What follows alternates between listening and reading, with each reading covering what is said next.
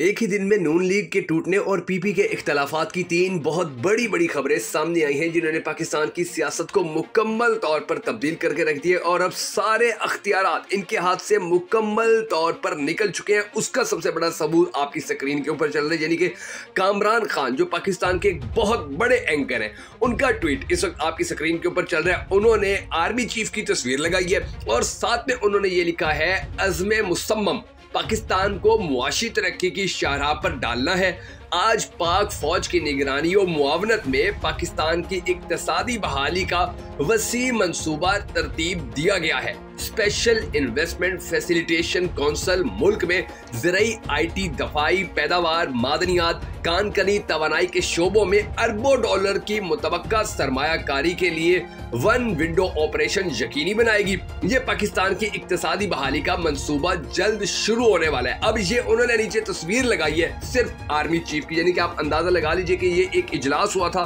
जिसमें शहबाज शरीफ भी मौजूद थे, जिसमें पाकिस्तान पीपल्स पार्टी के लोग भी मौजूद थे, जिसमें और भी इतिहादी मौजूद थे, लेकिन तस्वीर सिर्फ़ आर्मी चीफ की लगाई जा रही है, जिससे ये तासुर जाता है कि अब सारे मामला जो है, ये आर्मी चीफ के हाथ के अंदर होंगे और वही इन सबको हैंडल करेंगे, इनको टैकल करेंगे और देखेंगे और देख चलेंगे कि किस चीज़ को किस तरह से लेकर चलना है, किस तरह से इन्वेस्टर्स को पाकिस्तान लेकर आना है। और दूसरी तरफ़, सूरत हाल ये है कि पाकिस्तान के अंदर इन्वेस्टर आना तो बड़ी दूर। पाकिस्तान के पढ़े लिखे लोग 20-20 लाख 25-25 लाख रुपए भर के वो कश्तियों के अंदर दलीलो ख्वार हो के पाकिस्तान छोड़ने के ऊपर मजबूर हो रहे हैं कि जी, यहाँ पर हमारे पास नौकरियाँ नहीं है, यहाँ पर हमारे पास काम करने को नहीं है, यहाँ पर हम कारोबार करना चाहते हैं तो यहाँ पर हमें इतनी मुश्किल होती है, सरकार की तरफ़ से, सरकारी इदारों की तरफ़ से रिश्वत इतनी मांगी जाती है कि हम यहाँ पर कारोबार भी नहीं कर सकते उस बीस, पच्चीस, पंद्रह लाख के साथ, और वो मुल्क छोड़ने की कोशिश के अंदर अपनी ज़िंदगी से हाथ धो बैठते हैं। यानी कि आप अंदाज़ा लगा लीजिए कि एक जानब मुल्क के अंदर इतनी बड़ी इन्वेस्टमेंट आने का ऐलान हो रहा है और ठीक उससे कुछ दिन पहले क्या होता है कि पाकिस्तान के 300 नौजवान अपनी जिंदगियाँ समंदर के अंदर खत्म कर देते हैं या उनकी जिंदगियाँ समंदर छीन लेते हैं, सिर्फ़ इस वजह से कि वो रोशन मुस्तकबिल के लिए पाकिस्तान को छोड़ने की कोशिश कर रहे थे, पाकिस्तान से जाने की कोशिश कर रहे थे। और ये जो हालात हैं, अब इन हालात को ठीक करने के लिए जिस तरह आर्मी चीफ सामने आए तो लगता यही है कि ये सारे मामला अपने हाथ में लेंगे और उसके बाद जो मामला हैं पाकिस्तान के, जो पाकिस्तान की सिचुएशन है, वो बेहतर हो सकेगी। इसके लिए हम सबको ये दुआ करनी है कि अल्लाह तबारक वाली पाकिस्तान के मसाइल हल करे और पाकिस्तान को दुनिया के तरक्की याफ्ता ममालिक की सफ में खड़ा करे। पाकिस्तान का अगला वज़ीर आज़म अल्लाह तबारक वाली के साथ उस शख्स को बनाए कि जिससे पाकिस्तानी कौम सबसे ज़्यादा मोहब्बत करती है। अगर आप इस दुआ में शामिल होना चाहें तो कमेंट सेक्शन के अंदर आमीन ज़रूर लिखिएगा और साथ में यह भी लिखिएगा कि आप पाकिस्तान का अगला वज़ीर आज़म किसको देखना चाहते हैं? शिबाज शरीफ को देखना चाहते हैं या किसी और को देखना चाहते हैं? कमेंट सेक्शन के अंदर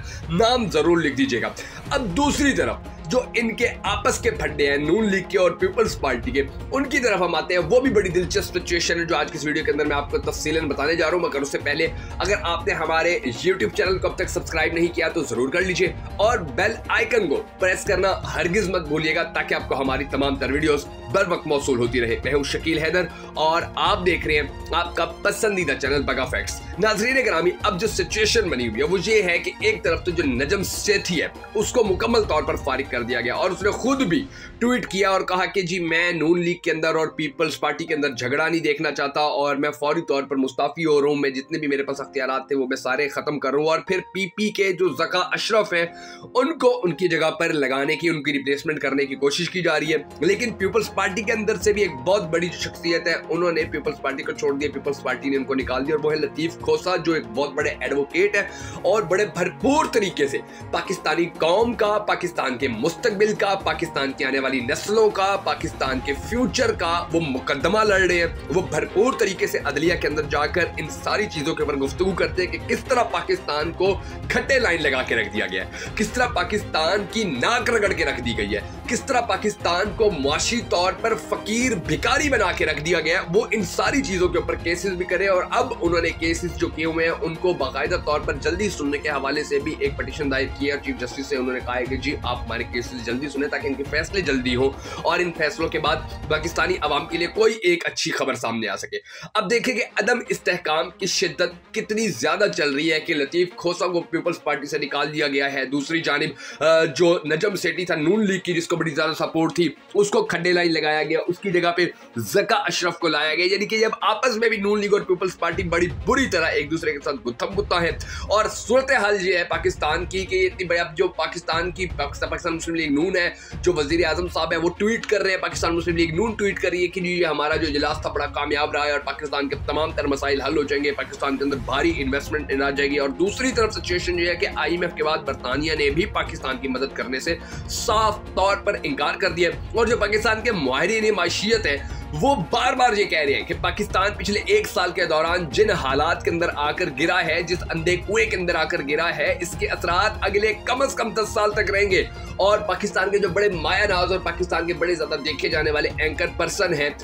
उन्होंने भी ये बात की है कि जी पाकिस्तान के जो हालात हैं वो बड़े ही बदतर हैं। यानी कि उसामा गाजी जो है, उन्होंने अपने एक व्लॉग के अंदर बताया कि ये जो हालात है, अब ये दस साल तक ठीक होने वाले नहीं है। अगर सारी मेहनत भी की जाए और हुकूमत इस पर बहुत खुश नज़र आ रही है कि जी, अब जो हमारा प्लान बी सामने आया और हमने ये जो इजलास किए इस इजलास के ज़रिए हम पाकिस्तान के मसाइल हल कर लेंगे। दूसरी तरफ़ सिचुएशन ये है कि जो पाकिस्तान की स्टील मिल है, उसको पाँच साल के लिए रूस को देने का फैसला किया गया लीज के ऊपर जी, आप ये संभालो कुछ डॉलर हमें दे दो और उसके बाद आप ये हमारी संभाल। और जो हमारे इससे पहले एयरपोर्ट है, वो गिरवी रखे जा चुके आप जानते ही हैं कि इससे पहले जो और काम थे अब हमारी बंदरगाहें जो है, उनको भी लीज पर दिया जाएगा। और दूसरी तरफ़ सुजुकी ने शेल ने पाकिस्तान को छोड़ना शुरू कर दिया है और एंकर पर्सन है जो पाकिस्तान के सैयद अली हैदर, उन्होंने भी एक बड़ा विलॉग किया ज़बरदस्त और उन्होंने ये कहा है कि जी पाकिस्तान की जो हुकूमत है, सरकार है, इस वक्त भीख मांगती फिर रही है और इनको कोई भीख देने वाला नहीं है, इनको कोई भीख नहीं दे रहा, ये अल्फाज उन्होंने इस्तेमाल किए